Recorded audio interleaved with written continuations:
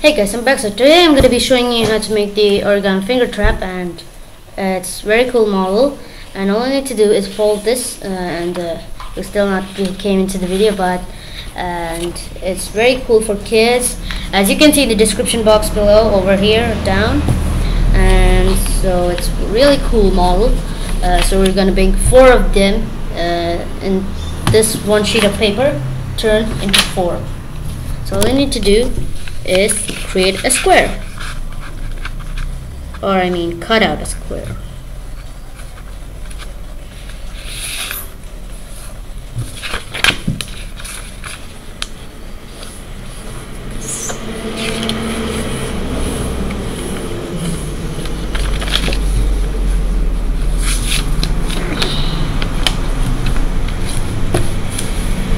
And here we have a square.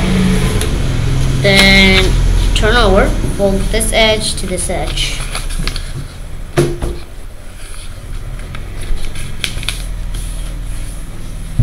And unfold, turn over, and fold this edge to the next edge.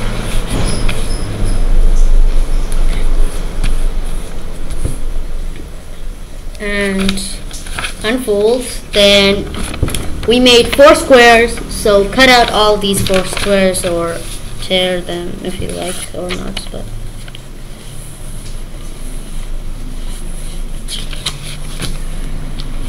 for now I'm going to make one.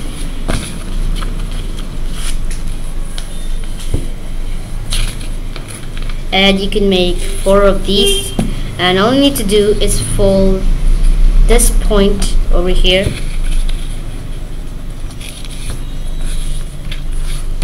unfold, turn over and do the same thing. This point over here. And after that, we need to fold this point to the center and this point center, this point center, and all these points to the center, the middle dot, fold them up to there.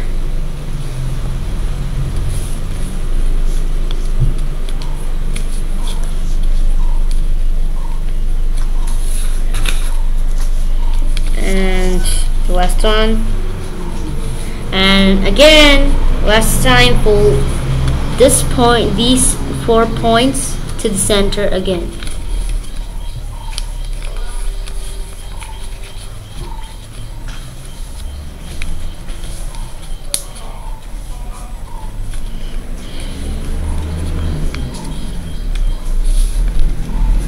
And turn over and for this point over here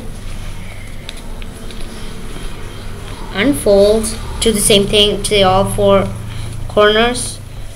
Fold unfold fold unfold fold unfold. And then fold this point to the line we just created up to there and like that unfold and fold, fold this line. Fold this point to the line we just created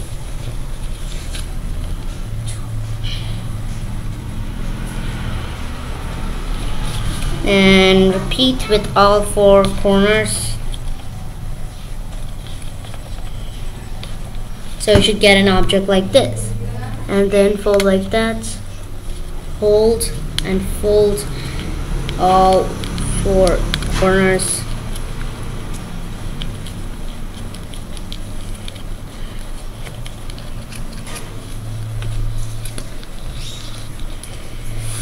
and you should get something like this. And all you need to do is fold in half and do the same thing.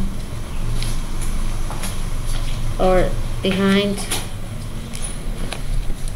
So fold in half do the same thing fold in half. And once that happens you can just play with it like that and you got your finger. And you could do the opposite side. Like this. And all four corners should get your finger. And you could turn over and fold these outside. And make into a lotus flower like that. And it should get your finger like that. And it could be pocket size like that. Put it in a pocket and also you could just convert it into a triangle. If the pocket is too small. And hope you enjoyed today's video and don't forget to give this video a thumbs up. Uh, comment down below how do you feel. Was this good or bad? Did it work or not and hope you enjoyed today's video and bye